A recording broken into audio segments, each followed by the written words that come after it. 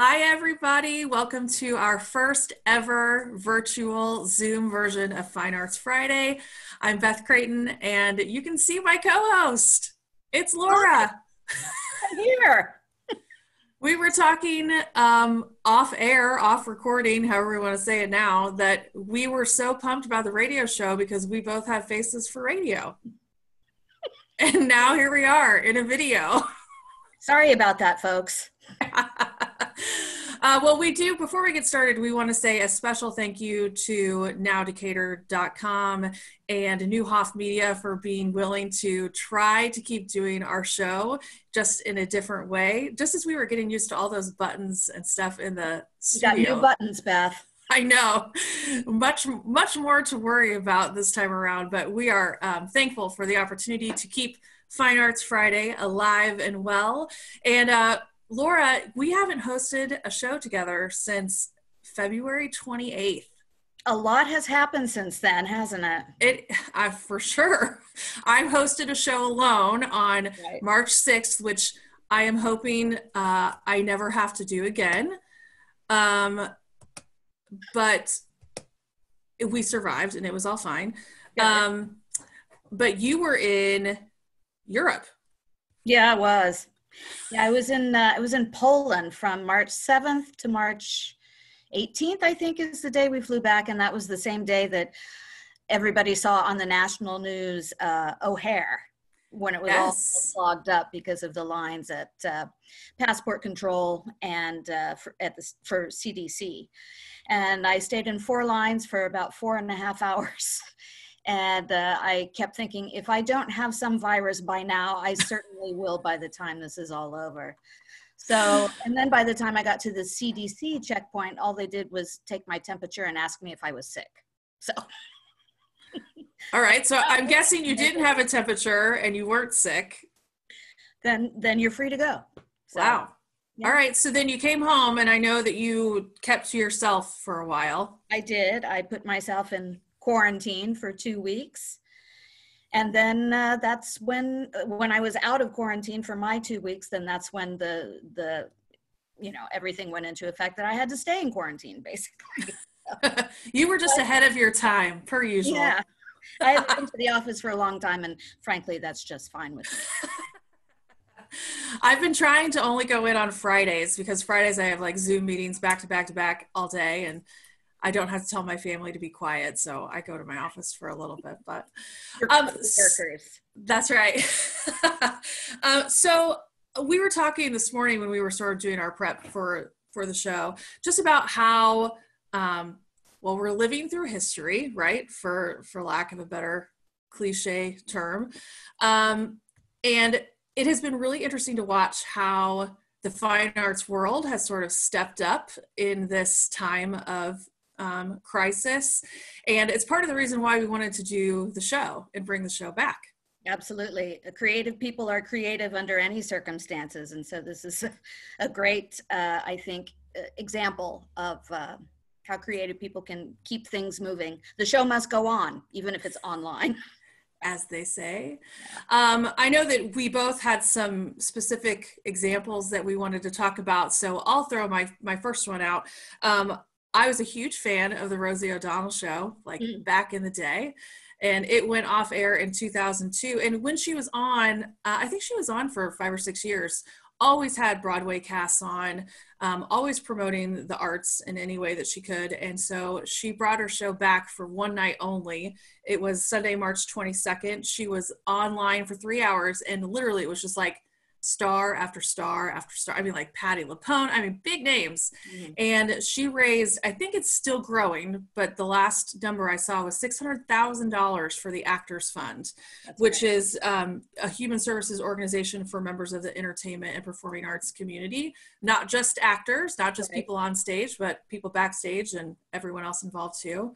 Yeah. Um, I thought that was a really cool and very quick like you know in the scheme of how things got shut down and we were all sort of kept at home she was able to organize that yeah and and like you say it's not just for the actors it's for all of those people that uh, that work in the entertainment industry and the arts industries, you know, from stagehands to uh, orchestra musicians, uh, ushers. I mean, you name it, right down right down the list. Uh, you know, there may be only a select number of people in your in your movie or your uh, symphony concert, but it's all those other people that work so hard to put you there.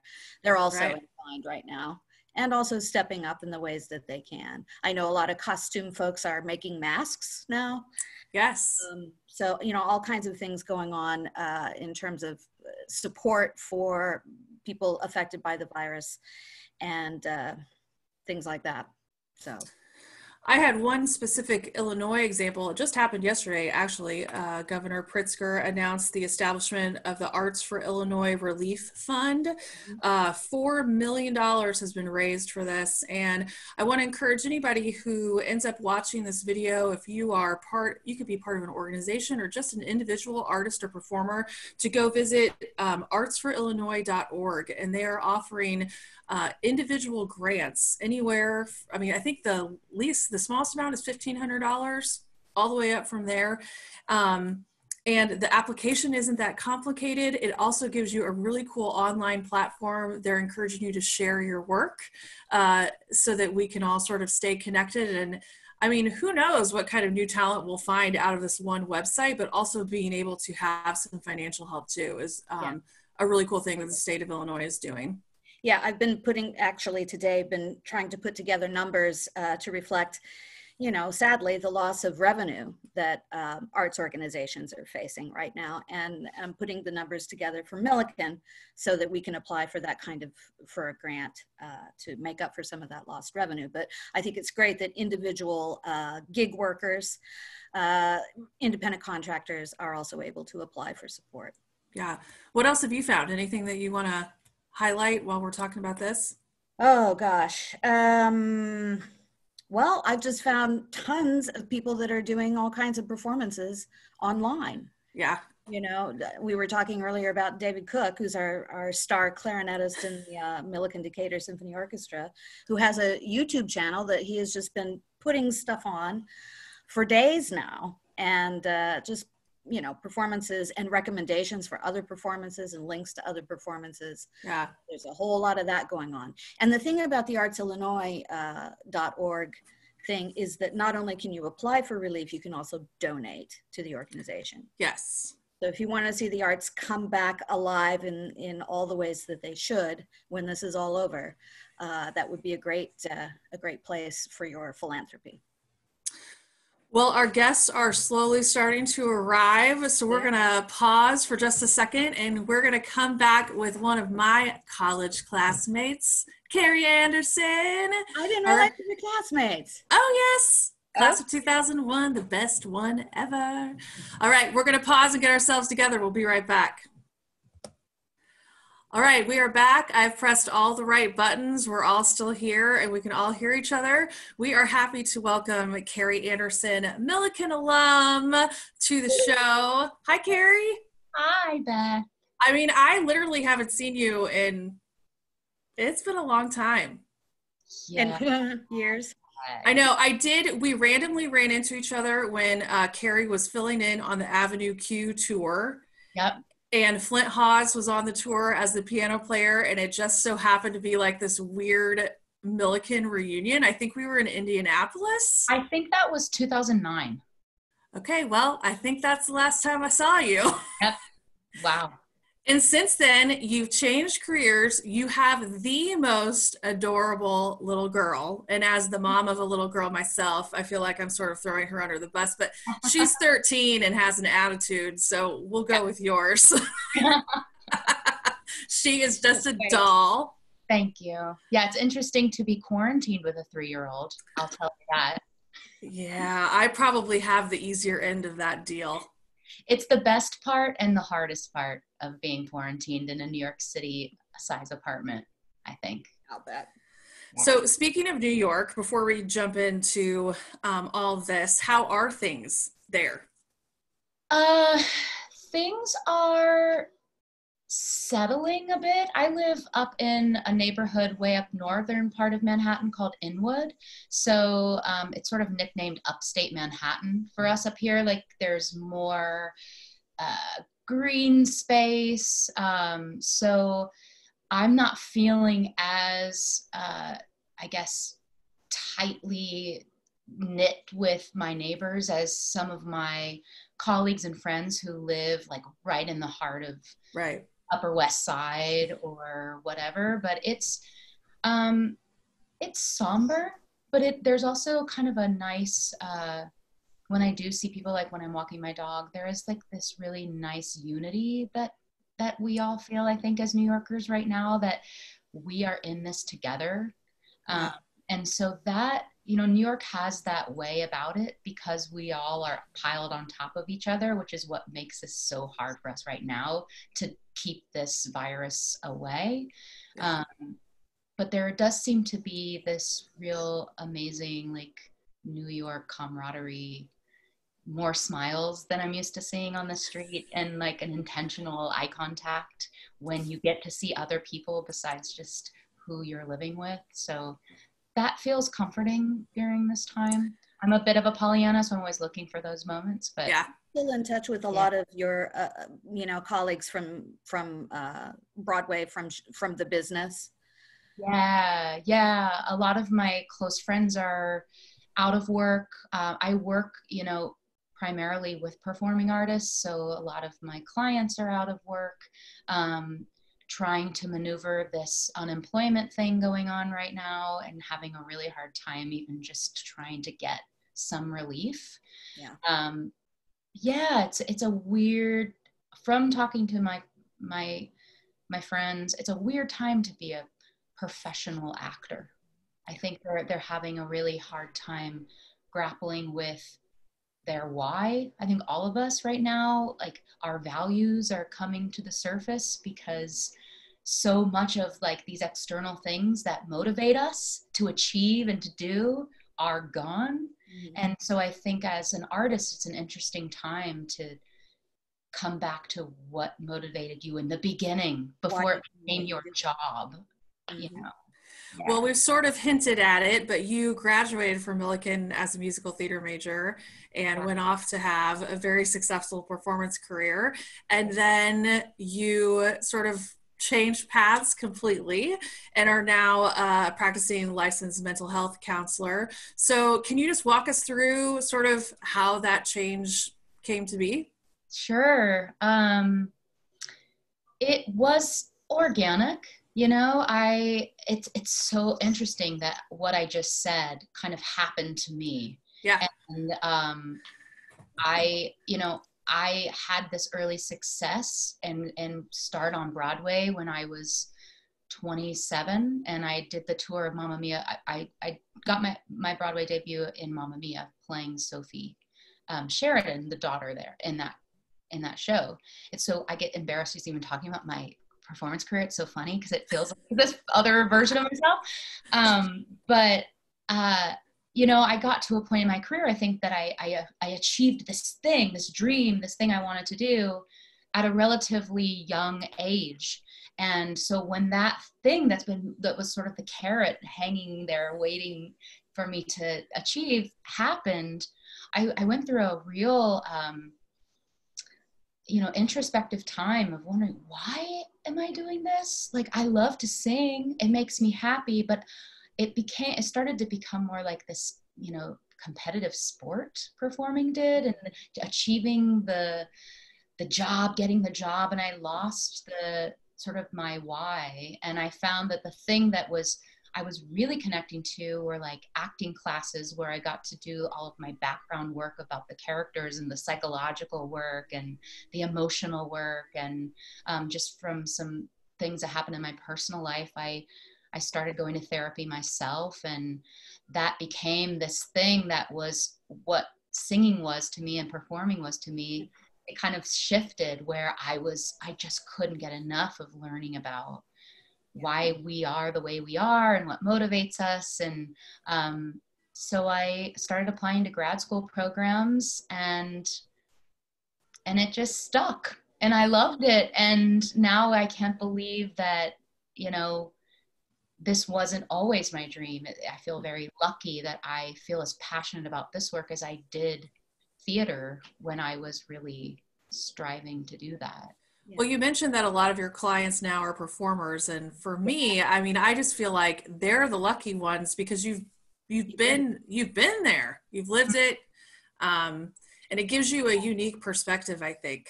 Yeah, there really was um, a need for uh, a therapist in the performing arts, specifically the performing arts. I think um, that ha- you know part of what we learn about being a therapist is half of the work is just feeling like someone gets you, feeling like you speak the same language, feeling comfortable bringing all of your stuff um, to them. And I think it's been really helpful that we don't have to spend half of the session talking about what a agent does or why right. when someone says the word agent, like we all as actors get butterflies in our stomach and a fear that they're going to cut us or, you know, all of this, yeah. like cut us from their client list. And so it, it helps to just get to the work that's underneath that, like the fear. What does it feel like? What does rejection actually feel like? So that we don't have to spend the time talking about the logistics of this very unique profession.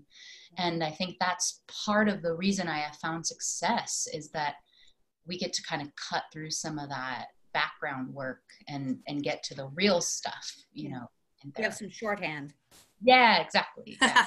well speaking of real stuff i know that you and i were texting back and forth and um, one of the things that we thought maybe you could offer to the people who are watching are just some concrete coping skills as we're all sort mm-hmm. of dealing with this weird time.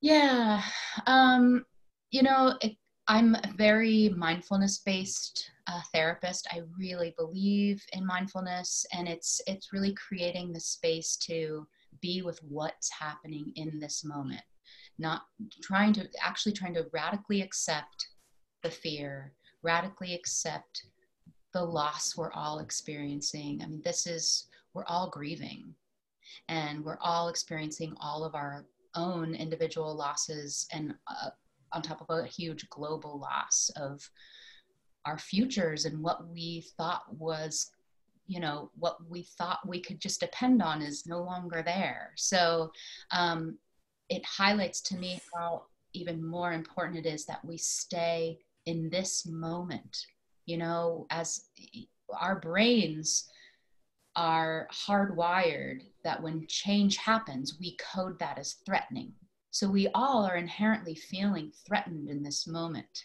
Even if we feel like we're doing okay, our, you know, parasympathetic nervous system is activated and we're on alert in fight, flight, or freeze mode because of what's going on. So anything we can do to to sort of undo that and get back to the sympathetic nervous system is going to be our friend right now. And um, I like to pull from evidence based, research based uh, coping skills. And one of them, you know, the first thing I, I like to offer my clients is finding three good things that happen to you every day. If you can scan your day for three simple things that happened that went well, even if it is, I heard that awesome song that came on my Pandora station that made me like want to dance a little bit. Like, because we're so hardwired with a negativity bias, we're always looking for the bad. And our brain thinks that bad stuff is useful and helpful and it hangs on to it like Velcro. And when good stuff happens, it just slides right off like Teflon. So we have to really train our brains to look for the good stuff. And right now it can kind of feel counterintuitive, but it's like it's like doing those sit-ups. It's like doing that yoga practice or doing what going for that walk. Like you want to keep a healthy heart you want to keep a healthy body. This is the same for brain training. So like really paying attention and forcing your brain to find the good stuff is a very huge huge um, coping skill that i would offer anyone to find. And um, also during this time you know, there are these techniques called grounding grounding exercises that can get us to the present moment, that can get us to the here and now and away from like future oriented or stuff that happened in the past. And the way, the quick way to snap our brain out of sort of what is called the default mode network, which is where our brain goes when we're not actually activating presence. It's going into that scanning for bad stuff and being in the fight, flight, or freeze place. Mm-hmm. So, the easiest way to snap ourselves into direct experience mode is these is through our senses so um, one really easy one that i like to do is like in this moment look in the space where you're sitting in and try and find all the blue things in the room right now so try and find all the blue things this is going to be great on video by the way us all going. Yeah but we i don't know if you feel it but like you give your brain a job and then you can kind of drop in to say okay how's my heart? Oh i'm i'm kind of scared right now or you know so finding a way to snap your brain out of that default mode network and into a direct experience. It's like finding the yellow things finding the blue things finding the red things or how many sounds can you pick out right now quick one. Just any of these sense sensory things is a great way for for for someone to check in right in this moment. How am i doing? And then to tend and befriend to that what you're whatever you're feeling. Oh i'm feeling fear. And just by labeling fear it gives us a sense of calm you know to help our mental health to not feel like it's so activated and and feeling threatened right now. So i i fully offer those as just simple you know easy doses of something to do to just let yourself be here now and be okay you know i think that that sense of being in the present is so important because we we don't know what the future holds you know no we don't and uncertainty is like all the plan kryptonite. it's a hu- it's the human brain's kryptonite to not right. what's next so it's, well, and it's I love that you practice what you preach because I see you on your Facebook page picking three positive things every day. Yeah. And I also like that there are days where you acknowledge that, like, it was really hard for me to find three things today. it's very, it's not easy. Yeah. Like, I can have the worst day. I, believe me, I am. It's not all sunshine and rainbows over here. It's hard stuff. In um, but doing it on Facebook, holding myself accountable in that way, it's self-serving for me in a way to post it on Facebook because it does hold me accountable to do it. Yeah. Um, that it it's it's work. It's hard work to find good stuff, and our brains don't naturally do that. And it, but it can. You can. Evidence shows you can change the brain. Our brains are plastic, and they change until the day we die. We can train our brain to be happier and it's this simple stuff but it's oh it's so simple find three good things. It's harder than it looks on those hard days. Yesterday i would have been very hard pressed to find three things let me tell you. Yeah. Yeah i buy that. Well carrie thank you so much for zooming in with us. And uh, i mean depending on how long we're in this situation we may call on you and your expertise again. Right. I'd love to come back Thank you so much. All right, we'll stay in touch. Yes, it's so good to see you. This is better than nothing. I'll take it. Yeah. Yeah. Okay. All right. Thank you. Bye. All right, everybody, welcome back to our first virtual version of Fine Arts Friday. We are happy to welcome Mary Black, the director of the Millikin School of Theater and Dance, and Brian Justison, the director of the Millikin School of Music, to the show. Hello. Hi, Beth. Hi. How are you guys? Okay. Times are crazy, but we're adjusting. Ditto. Ditto.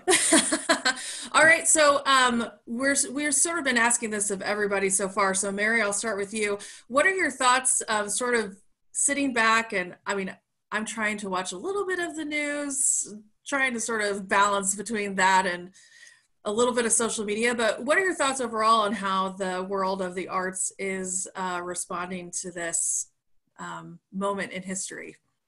Well, I think it's been heartwarming to see um, artists all supporting each other and looking for ways to support each other. Um, but it's also scary. You know, a lot of people are out of work. A lot of people are, you know, looking for support, um, both financially and emotionally. So I think Carrie was a great guest to have on this week. Yeah, agreed. Um, Brian, any thoughts? Uh, well, I'm just like everyone trying to remain optimistic. And, um, you know, if we think about this in a historical context, all of these traumatic slash, uh, you know, these epic events in history signal some sort of significant change in the arts. And I think that's going to be interesting. You know, what, what will the arts look like when they come back? Right. And most recently, I think maybe, well, not, not most recently, but most memorable in, in my mind in World War II, uh, signaled the end of the swing era. And, um, and there was a big shift that happened there. And I think, you know, who knows what's going to happen. Yeah. Well, I'm hoping we all come back stronger, and we certainly will have learned a lot more about the technology that's available to us. That we will. you know, hopefully it will go beyond just Zoom, but uh, although Zoom's been great, um, I, am interested to see how how different kinds of, of media will uh, take shape in the in the new world after this all calms down. So, since we're all Millikin people, I think we all probably had uh, a different reaction to the email directive that told us we were going to be teaching all of our classes online for the remainder of the semester. Um, I want to ask each of you, and again, we'll start with Mary, but how have your faculty reacted to making these adjustments? I'm going to ask you about faculty first, and then we'll jump over to the students. Well, I think our faculty, I, I was a little surprised at how positively our faculty reacted. Um, because we're in the arts, it's so difficult to move what we do online. You know, we're not reading books and then writing papers. Not that that's easy to put online either, but um, trying to figure out how to engage with students with uh, performances and um, painting skills and all of those types of things has been daunting, but I think the faculty have really rallied um, and supported each other and found the resources they need. Um, so I think overall it's it's going well. It's not great. Um, we'd all rather be in our classrooms, but I think people are adapting and I think doing so admirably. Brian, how's the School of Music faculty doing? Uh, well, I agree with everything that Mary says. And, you know, the faculty reaction was, we still get to do this. We have to change how we deliver it. But, you know, they could have said, look, you hired me to teach in a classroom. Why do I have to adapt my curriculum? I'm not getting paid for this. Um, but that never entered anyone's mind, I don't think. It was, okay, how do we continue um, with this job of teaching and learning? And, uh, you know, it's been pretty remarkable in that sense. The conversation about if was never in the, uh, in, in the realm of conversation. So, yeah, pretty positive um, response. Laura, as the dean in charge of all of us fools, how's it going? Oh, it's going fine for me. I'm not the one that has to do the heavy lifting. I just try to check in with people and make sure that they have everything they need as much as I can. Um, and I've gotten some fabulous reports back from faculty about the ways that they're teaching their classes. I mean, who would have thunk that you'd ever be in a position where you had to deliver an acting class or or conduct an ensemble when you can't put a bunch of people in the same room together those are such collaborative arts and and you know there are different challenges in in the different uh, disciplines but yeah fortunately i don't have to teach anybody so more power to you, you guys. I think this means we all need to start inviting Laura to be guests in some of these classes. you know, a lot of people have been inviting their friends to come in and do, you know, to visit their classes on Zoom, which I think is very cool. We have access to all of our, uh, you know, our alum base and other people that we know from our various businesses and disciplines, and they can come, they can Zoom in to the courses. I know Tom just had a couple of guests Zoom into his classes, yeah. and I'm sure it's going on in music, and I'm not sure about art, but we'll find out later. uh, Mary, how are the SOTAD students doing? Um, okay, you know, uh, it's I think overall people are doing okay. Uh, you know, there are a few students we're worried about. There always are, but you know, I think they've been adapting in ways I didn't expect. Um, I have a couple of students, for instance, in my class, and we kind of chat before class gets started, uh, who are also taking tap classes. And, you know, their tap instructor, Sean Morrissey, sent them like the dimensions of lumber to go buy at Menards or Lowe's or wherever they could get it so that they could tap wherever they are. Um, and they're. Yep, he's teaching via video, and they're all continuing to practice their tap, which I think is really exciting and cool. And you know, I I, I am sure they're irritating their families. I have a child trying to tap at home too, but it, it's cool that they're able to find ways to adapt to those things. Brian, I know the School of Music is quiet. Mostly. Mostly. um, yeah. Uh, so everyone is taking their, you know, trumpet lesson or voice lesson or whatever it may be uh, virtually. Have you gotten any feedback from students about how it's going? Some. Uh, I'm not seeing a lot of students. Uh, I've taught my own students, and um, you know, generally, I, I think everyone's happy to see their instructor and uh, and to have something assigned and, and something evaluated and keep the progress moving. You know, I'm thinking about when I started in 1989, what this would have looked like. It would have been writing letters to students. Here, practice this, and two weeks later, maybe I get a response. Um, so, you know, that uh, is obviously facilitated by all the technology now. And yeah, I'm becoming more savvy with regard to all the different ways of, of chatting. But yeah, you know, students are the most resilient uh, among us in some ways. So, uh, so far so good. You know, we don't want to keep this going. It doesn't look like we're going to have to uh, for the uh, foreseeable future anyway, the extended future that is. So yeah, two thumbs up. I think, uh, I mean, I've been amazed at how compassionate the faculty have been to their students. I mean, I think they've really reached out and and helped students because they're, I think, a lot of students are pretty traumatized. You know, they don't have the structure and the the the social and emotional support that they have with their friends when they're on campus. And I think uh, for both students and faculty, it's it's actually been a good kind of experience to have that structure and things to do and and connections uh, it's been really interesting for me. I feel like every email i send to a student comes back with a response that is thank you so much for all you're doing. I, I don't get those emails when we're all together all the time. You know what i mean? Yeah.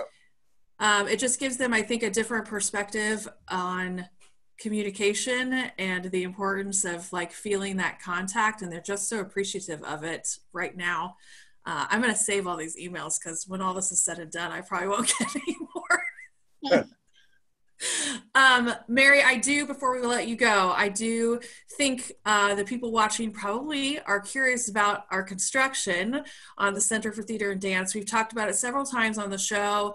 Um, is there an update that you can share uh, construction has been deemed uh, an essential uh, industry, so construction continues. Uh, we are still on target to open the building this summer, so fingers crossed that that's able to continue and that uh, all of our construction crews stay safe and healthy. Uh, but we are still on track to open the building this summer.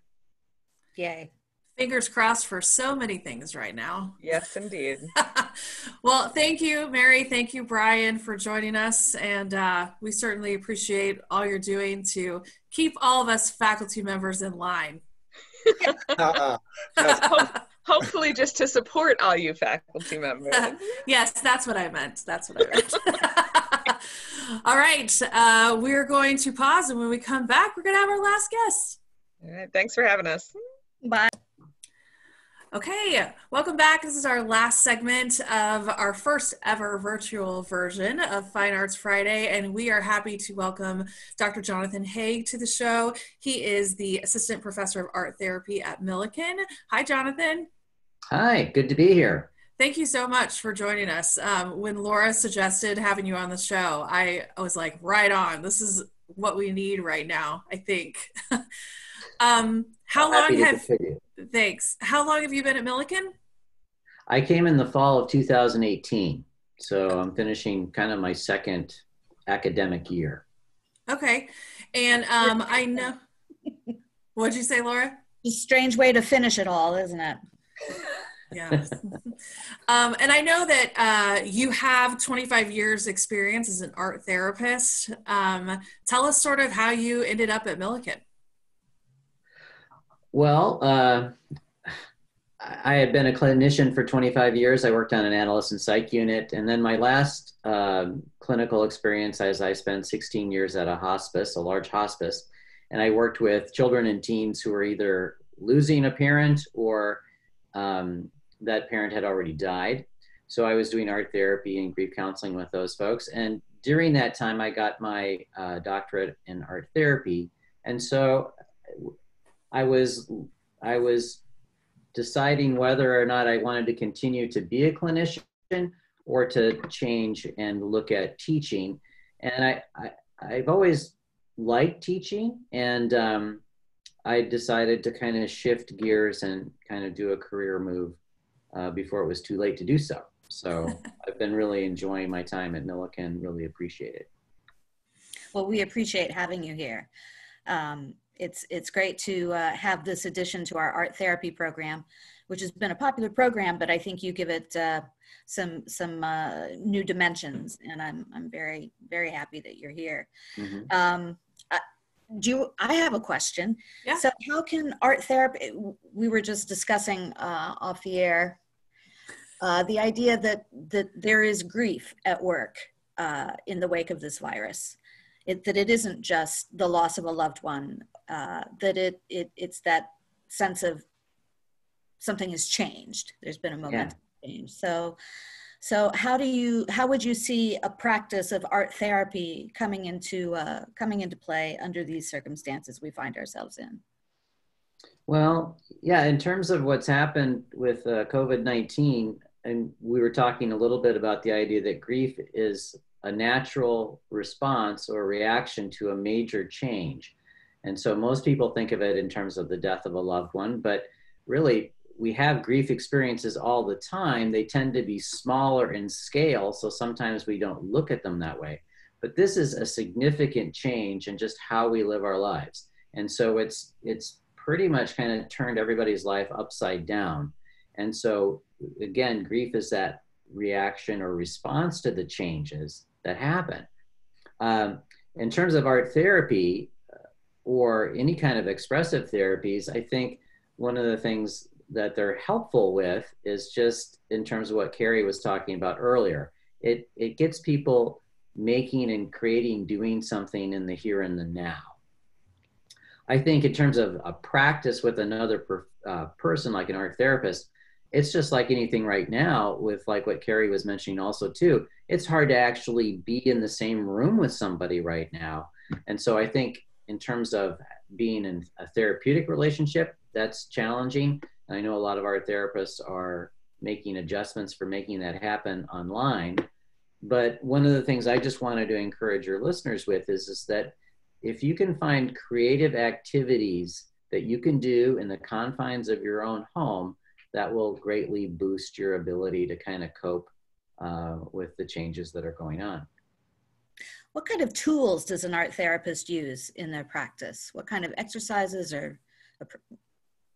Well, in terms of art therapy, basically how it's uh, defined is the, the the tools are the art therapist. You need an art therapist. You need a creative art activity, and then you need some goals or some um, psychological theory that you are uh, you know uh, addressing with the goal. So it's it, it forms a triangle between the art therapist the art making and having some psychological theory that you're working off of and a way of kind of keeping you on track working with your client. Um, the art the creative activity is i guess one of the things i would encourage people to be looking at right now. And art therapy works in a relationship with another person. Um, and so again, can be a little difficult in for living, not impossible, but a little bit challenging. Do you have One any things- specific, um, sorry, do you have any specific ideas for creative activities that people could be doing at home? Well, here's some, some of the things that I was thinking about in terms of like preparing to talk. I there's a there's a concept that's called flow, and everybody, whether they know about the concept, has experienced it on some level. So, flow was developed and is is called the optimal experience, and uh, a psychologist named uh, Mihaly Csikszentmihalyi developed it over the 70s, and it's been kind of gaining steam uh, for the se- past several decades. But art therapists are very, very interested in flow. So, what flow is, is it's an experience that you have when you're doing something creative uh, within your body. It takes your body and your mind.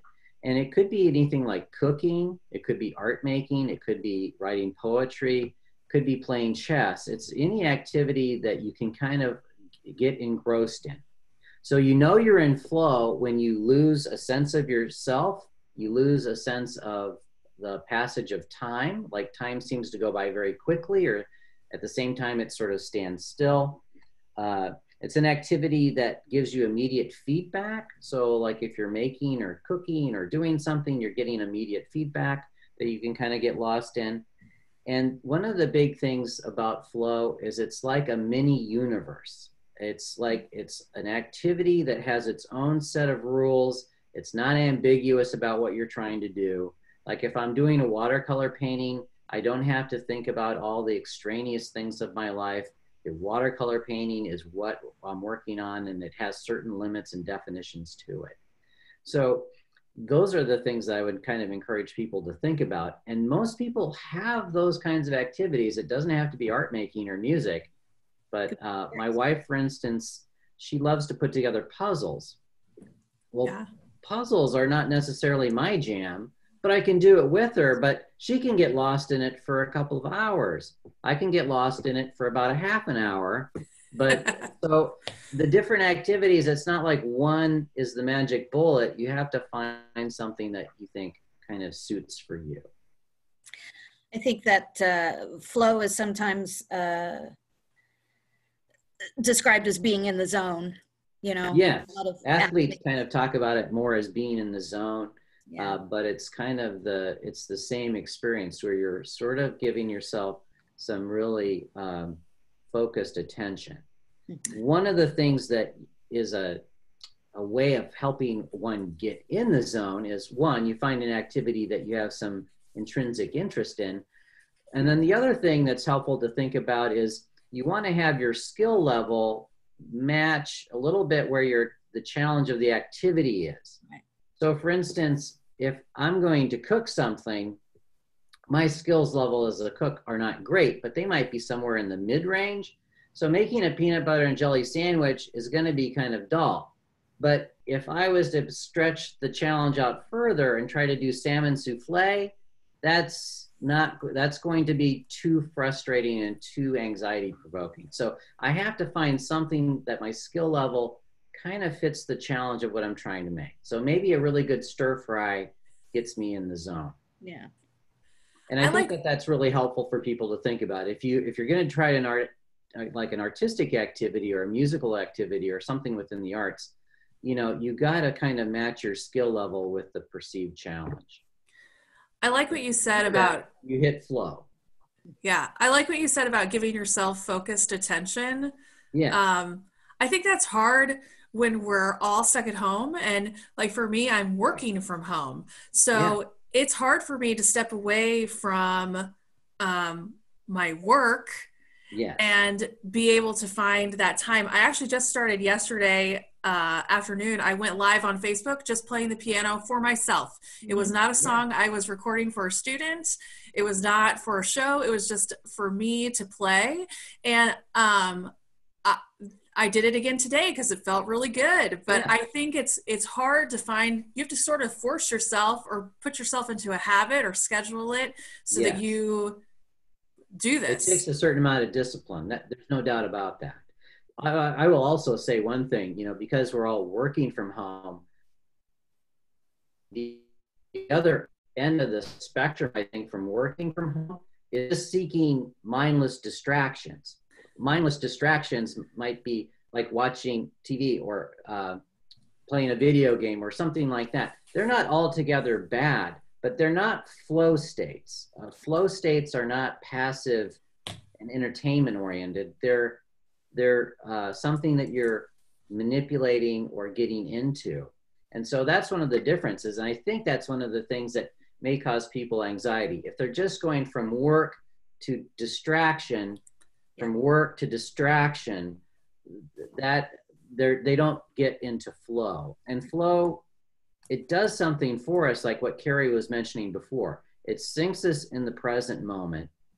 It gives our brains uh, all sorts of positive chemicals and reactions, dopamine and everything else. And when we're done, we have a feeling of accomplishment.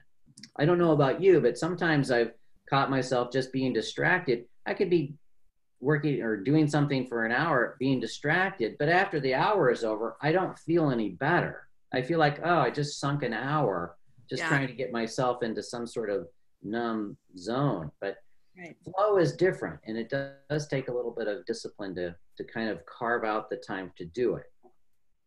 I think that's why, you know, we always say artists are going to make art no matter what, because right. it's just part of who they are and how they function and what gives them that kind of feedback and, and self validation and, and joy in their, in their work. So, and I think that's, that's why they call it the optimal experience because um, it works with how your brain works. Um, and there's a feeling of accomplishment and purpose and enjoyment um, and that's why art therapists and other therapists are very interested in flow because if i if i'm working with a client or a group of people in an art group i'm trying to structure the environment in such a way as people can enter that because if they do they will um, they'll experience more of a sense of uh, fulfillment and joy in what they're doing and they'll be more attached to it right right well, Jonathan, thank you so much for joining us. That was, I mean, that was super helpful for me. well, I just well, the trick is is not beat yourself up. Find something that you find that is uh, creative and carve out some time to do it. Yep. Well, thank you so much, and thanks for. I know um, all of us faculty members are doing what we can to um, teach virtually. So thank you for what you're doing for your students, and I look forward to the next time we can chat. Great. Thank you so much. Thank you. Thanks, Jonathan. All right, Laura, we did it. Our first virtual show. Nobody got hurt. That's right. well, I do want to take just a second and thank our guests, Carrie Anderson, Mary Black, Brian Jessison, and Jonathan Haig. Uh, I'm not sure we could have put together a better group of people for it this first show. Yeah. Um, we do want to say that all of our podcasts from previous shows are available on nowdecatur.com, um, or you can download the Now Decatur app. It's free, so you can go back and listen to what we've done before. Um, this video obviously will be available and archived as well. And uh, we'll see how it goes, and maybe we'll do another one of these. I hope so. I mean, yeah. I, this is kind of fun, even if it's not on Zoom or whatever. Um, I, I think it's uh, I think it's fine. I think yeah. Um, I, and I, I think it's also good to give people a chance to uh, hear artists talk about not their next performance necessarily. You know. Agreed. Yeah. what they actually do and how they process it and how where that impulse to make art actually comes from. Yeah, uh, it's sort of like what we were talking about earlier how, you know, how will this moment in time sort of shape the way we look at Fine Arts Friday yeah. moving forward and the things that we talk about and um, it's interesting. And it really has, this whole thing has, I think, and Carrie mentioned this, it has made us really kind of think about what we value and why we do what we do. And is it important? You know, we're always put into the lump of non essential services. Right. And I wonder about that, of course. And for some of us who make art, it's it is essential. Uh, but it, it does this whole time has made me think about how we value it and what does it serve. Yeah, yeah. Uh, well, we also want to. I've seen this on Facebook several times that when all this is said and done, we want to remember the way that the arts supported us as people, whether that's you know, Netflix or Spotify, or, um, you know, for me, I'm thinking about how tonight would have been the opening night of the show that I was supposed to be doing at Millikin. Um, and when we come back, um, I do agree, I think we'll be stronger, but we're going to need, you know, the finances and the support to be able to do that. Right. And there are all kinds of ways to uh, to to support that. Uh, things here locally, like of course the Patron Society at Millikin, you can go to uh, millikin.edu and there's a give button and you can click on that and it will take you to a bunch of logos and you can click on the Patron Society and make gifts to any of the fine arts departments or to the college so that that can be distributed where there's the most need. Also, we're still raising money for the Center for Theater and Dance, which will, they tell us, Yes. in the fall. And and I do I'm very impressed with this whole Illinois or artsforillinois.org uh, project. I think that was very uh, forward thinking Yeah. of uh, Lori Lightfoot and uh, Governor Pritzker and all the people that were involved in in putting that fund together. So if you uh, so if you're inclined to donate to anything, I think those are three really great great possibilities for you. All right. To all of our, our listeners, watchers, Watch. both, I don't know. Um, until we see you or uh, you hear us, hear our voices again, we hope that you stay safe and healthy. And uh, as always, continue to support the arts. Thanks so much, everybody. All right.